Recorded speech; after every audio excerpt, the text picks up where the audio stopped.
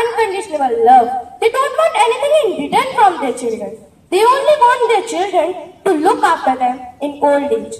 When the son get married, they are overjoyed by the arrival of a daughter-in-law, feeling more secure and comfortable. Many Indian families take good care of their children, parents, but unfortunately, there are some children who treat their parents as liabilities, making them feel neglected. Making-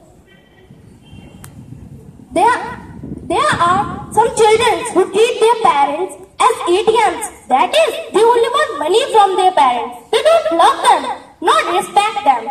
What we do will it ricochet and come back to us.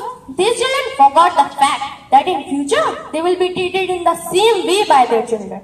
There are hundreds of organizations are working in India to make life easy for the destitute parents. Old age may have all facilities and amenities, but they will not get the love they need. Love, love is a medicine that can cure all disease. In India, there are the rare cases when parents themselves prefer the privacy to move to these homes. It is the cold attitude of the children that forces parents to move to these homes. There are many reasons when elderly people take painful decisions to move to these homes.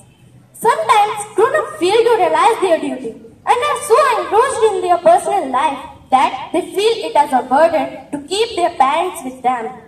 They feel it as an interference in their personal life and tell their parents that they cannot keep them. The ego clash between mother-in-law and daughter-in-law causing too much of stress in the house and the situation comes at the worst that they cannot keep them.